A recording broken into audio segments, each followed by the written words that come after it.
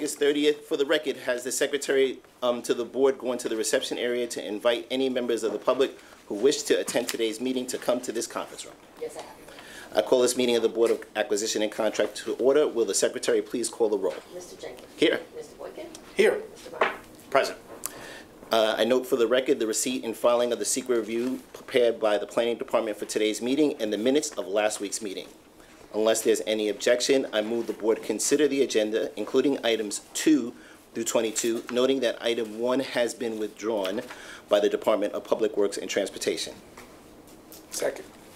Um, the floor is open for discussion of end, agenda items by any members of the board. None? I have none. Unless there's any objection, I move a vote to approve the agenda, including items two through twenty-two, noting that item one has been withdrawn by the Department of Public Works and Transportation. Second. All in favor could do so by saying aye. Aye. Aye. Any opposed? The motion passes. Are there any other matters to be discussed? I have none. I have none as well. Unless there's any objection, I move to adjourn the meeting. Seconded? The meeting is adjourned. Oh, wait, I gotta have a vote.